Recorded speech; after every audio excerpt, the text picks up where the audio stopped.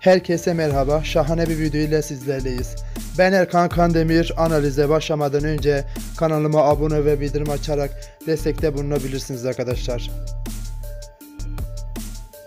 Çok bekleyen Yücel'in ölümü geçtiğimiz bölümlerde gerçekleşti. Acaba bu sefer gerçekten öldü mü? Yamaç ve Efsun arasında ne var? Emmi ölüyor mu? Hepsi daha fazlasıyla bu videoda. Video sonuna kadar izleyip beğen ve yorum atmayı da unutmayın. İyi seyirler arkadaşlar. Bartol'u gözaltına alınca Yamac'ın ölmediğini ve başının belada olabileceği abilerine söylemiş olmalı. Efsun'un yanında olduğunu Bartol'e başkası bilmiyordu arkadaşlar. Çağatay Erden'e çukurun adını lekeleyerek Yamac'ın damarına bastı. Yamaç mahalleye geri dönüyor ve kontrolü ele alacak arkadaşlar. Kalp krizi geçiren emmi ölüyor. Yamacı frenleyen artık kimse kalmadı. Akıllı plana yaparak Çağatay'a anladığı dilden cevap verecektir. Azer ve Karaca'nın aşkı artık kesinleşti. Karaca Koçovalı'nın karşısına çıkıp Azer'i sevdiği bu savaşı bitirmek istediğini söyleyecektir arkadaşlar. Çağatay Erdenet Efsun'un birisini sakladığını şüphelenip Yamaç ilgisini olduğunu anlamak için peşine adam takacaktır. Çoğu analiz videosunda Timsah Celil gelecek, Timsah Celil ölecek falan demişler. Ama Timsah ne gelecek ne de ölecektir. Timsahın şimdi gelmesi söz konusu değil. Gelirse de birkaç bölümde sonra. Yamaç İstanbul'un Çukur'da olduğunu herkese gösterdi.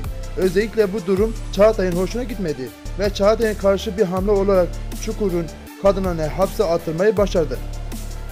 Yamaç bu durumu öfkeleyip kahramanlara atılacaktır ve Vartu ile İstanbul'a kafa tutacaktır. Yamaç Nehir'in hamile olduğunu öğrenecek ve buna bağlı olarak babasının sözü aklına gelecek ve bu olaya çok sevinecek ama henüz kimseye söylemeyecek. Peki Efsun aralarında bir şey var mı sorusuna gelecek olursak Yamacın yine uyku problemi çıkacak ve Efsun'un yanına gidecek ve Efsun yanında uyuya kalacak. Yani aralarında bir şey yok şu anda. Peki merakla beklediğimiz o soruya gelelim. Yücel yaşıyor mu? Yücel'in yaşama ihtimali %5'tir. Yamaç bu sefer işini garanti aldı.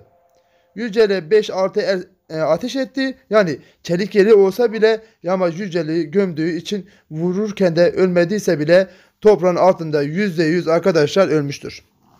Videomuzun sonuna geldik. Birinci fragmanda yayınlandığında size daha geniş bir analiz yapmaya çalışacağım. Kendinize iyi bakın.